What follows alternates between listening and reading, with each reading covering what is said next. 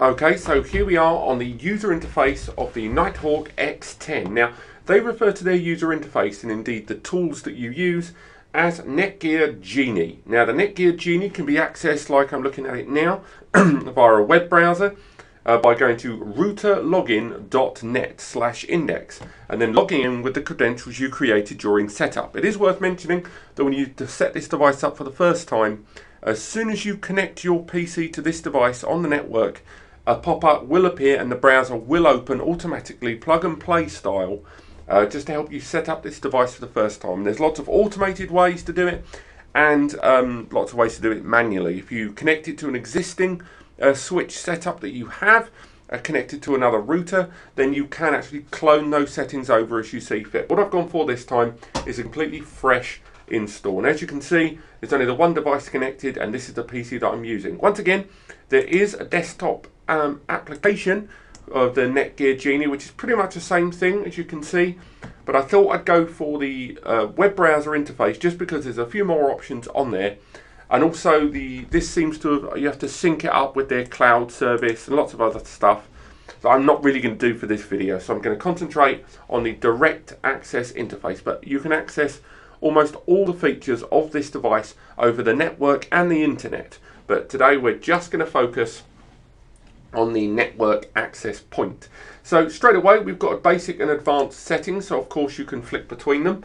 Um, if we do want to check out the um, uh, more detailed settings we can open up the advanced thing and of course if you know more about your routers and your networking this is where you can do some real big changes and this is also whereby you can change the amount of access individual users have.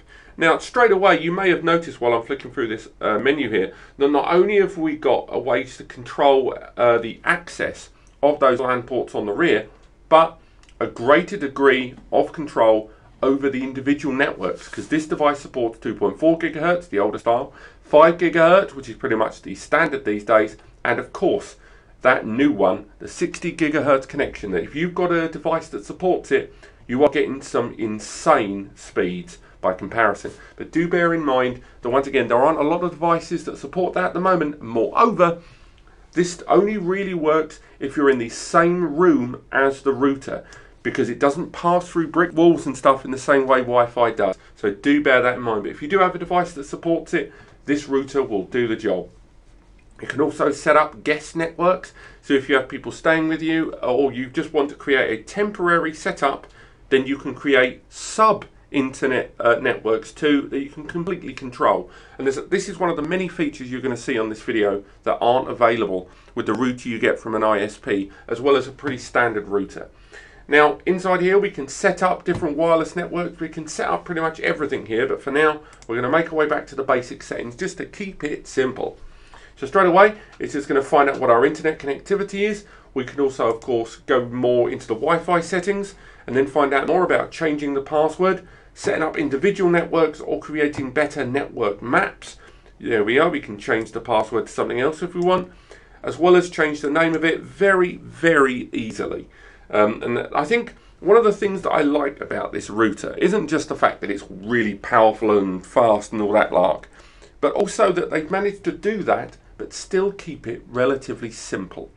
Um, and that's quite a nice option there because it's quite good to get a lot of this other stuff here out the way where it, this device, because it's got that quad-core CPU and memory, um, it's a lot smarter than most NASes. It can afford itself a lot more luxuries that standard basic routers can't have. But if we make our way back to that main setting, attached devices we can look at. I'm going to connect a USB stick now into one of the available USB ports because I think that may be quite advantageous later in the video. So let's get a USB connected and straight away it's recognized um, our USB device straight away. And so again, this isn't going to be the first router in the world that's ever had um, support of USB. That would be madness. But what makes this device interesting is what you can do with it. Because not only can you distribute and access multimedia from a USB drive uh, to your local network and access it over the cloud and internet, but a Plex Media server can be set up on this device. Um, so again, one of the main reasons people are going for this is just because of the fact it supports a Plex media server. I mean, this is something that, and transcoding, of course. The very fact that these are things that you can do um, on a router of all things can eliminate a NAS in your network as well as um, a switch because this does have the capabilities of a switch. It has link aggregation. It has a 10 gigabit Ethernet port on the rear in fiber.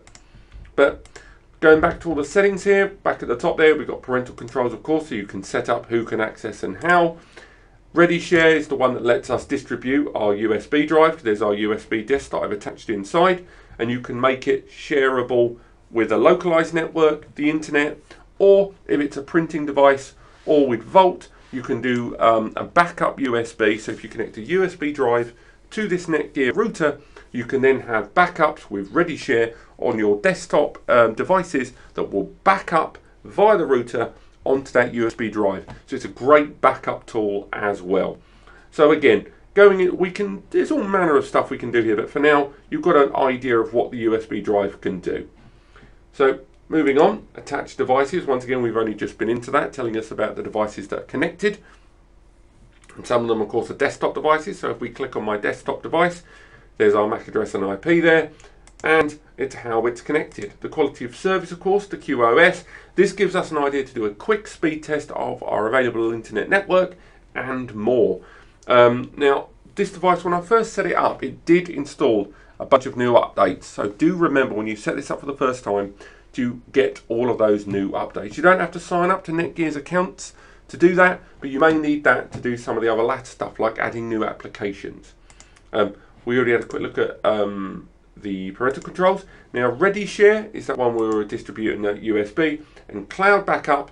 If we set up an Amazon Drive account or an S3, what we can do here is that we can back up the content of a USB that we connect to the router and back it up to the cloud. and that can work vice versa as well. Quite useful indeed to have an off-site backup working through your router. Again, something that you would normally buy a NAS to do, and another one of the many reasons why this could well replace the NAS in your network. Guest network, of course, is how we um, monitor the access points of those who we've given temporary access to. Uh, and we, of course, we've got the Netgear downloading application. Now, with this, if we enable it, this gives us the ability to um, have a download server. So much like a NAS will let you download things over HTTP, BT, FTP, NZB and more, the Netgear router supports these download types. So you can enter um, where you want uh, the file to download from. And of course you can enter a URL or if you've got um, the beginning files, the sort of opening files for that download, you can use the USB that we've attached inside as well as set up um, where the downloads are going to be going to, presumably on that USB disk, because this device doesn't really have any internal storage. That's what those USB ports are for. Likewise, you should be able to configure a network drive as well, which means from there you will be able to send downloaded information to a network source. Again, you could go for a very basic NAS and then send information over to it. Um, and of course, here at the bottom is our Plex Media Server. So straight away, we can enable our Plex Media Server. And this may take an extra moment to get this downloaded and up and running, so we may see a slight delay. I haven't done this before. But what's quite interesting is not only can you uh, utilize a USB drive to um, you know have access to the media you want to distribute in Plex, but you can add a network connection, which is quite nice. Um, and if we go to OpenPlex again, I've never opened this before, so let's find out what's going to happen. And also take a good moment there to look at the fact that with this you also get three months, uh, three free months of Plex Pass and that is the premium based subscription service. Um, so if we open Plex, it's going to take an extra little moment there. You know what? We'll save Plex for the other video actually. I'm saying all that. I said I was going to make two of them and we're going to leave that till next time. So again, this is where the USB drive would have been used for that Plex database. And when we make the video for Plex, we will make sure that we use the Plex account and of course upload some media for that video. But that's really the basic package that this router gives you.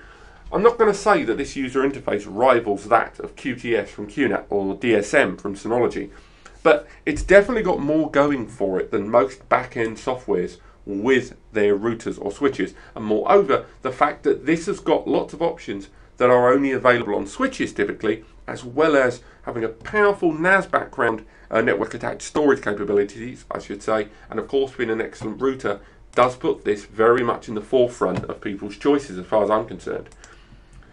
Now, if we go through these advanced settings, here is where we can look at some of the other stuff that's going on, and this is where things can get super intense. If you don't know your way around networking, maybe don't play with these settings, or at least keep your finger near that reset, reset to defaults. So this is where we set up IPs.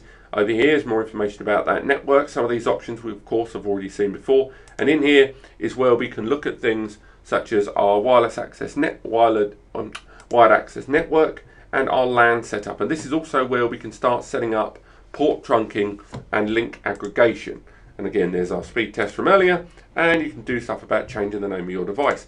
Now with Ready Share, this is where we can look at the media server capabilities, because remember, you don't need to rely on Plex. You can attach a USB drive uh, to this device that's full of media uh, without using Plex, and this will just enable a media server. This media server will then appear um, on your PlayStation, your smart TV, your Xbox, your iPod. This will pick it up as a standard DLNA supported device. On top of that, you can get picked up on TiVo, and of course, anything that supports iTunes um, server uh, DLNA, this can do it too. And of course, you can, if you need to give remote application passwords for things like the Sonos sound system, that's where that lives. And again, you can scan the media files on the USB and it will find all the available media um, for the distribution. We're not going to wait around for that too long because we've got stuff to do.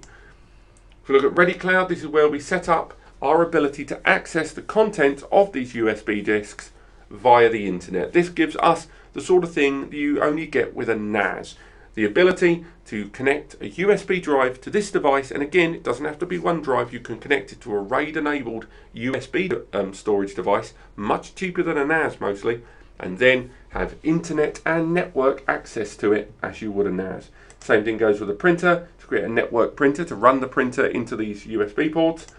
And finally, ReadyShare is the, um, the ability to uh, back up files and folders and more from a Windows-based PC onto your USB drive. Again, completely free. And cloud backup, as we discussed, straight there onto the cloud. Security, here's all of our stuff with regards to parental controls. Once again, here's our stuff with regards to access, our permissions, blocking sites and IPs, and blocking individual services to individual IPs to make sure they can't use them. Um, if you want to set up an email server or get email notifications, here's where you live. And finally, if we carry on to the download server settings, this is where we can tinker with a lot of those settings that were in that download server. In administration, we can look about all the individual attached devices. This is where we saw those USBs earlier and more information on that, as well as logs and more information with regard to the device itself live. An advanced setup, of course, this is where things get crazy. This is where we can set up the bridging mode between different devices and different networks. This is where we set up that port trunking or link aggregation, where we can attach two of those ports together to effectively double the upload and download. Dynamic DNS makes sure that everything's moving non-stop without you having to worry about a change of IP. VPN, if you've got an existing virtual private network account, you can add this to this device or you can use uh, the Netgear's own one that they're signed up for. You know, we'll leave that there. Why not? Let's get that done. On top of that, we've got everything else you're ever going to need, UNP, UPnP for uh, multimedia distribution, USB settings, just to let us know so you can disable the ability for USB drives. And all of this, remember, can be accessed over the internet, not just via your localized network. And of course, a much better, uh, bigger and better analytical breakdown of everything that's going on. And there is our link aggregation setting in full. So if you connect those two devices there and you go into the other setting to tinker around with the port forwarding and the truncating, I'm um, sorry, triggering, you have got yourself security and speed. It's definitely something to bear in mind. But I'm going to wrap things up here because next video will be about a Plex Media Server being set up on this device. Um, I hope you've enjoyed this video. If you want to learn more, if you're interested about this device, do visit the guides at span.com. If you want to see the more wordy version of all of this about the Netgear X10, then do send me a message uh, and visit nascompares.com or find me on Twitter and send me a message at Robbie on the Tube. Thanks for watching. Thanks for watching. Down there, click those videos. It's fantastic. Whoa.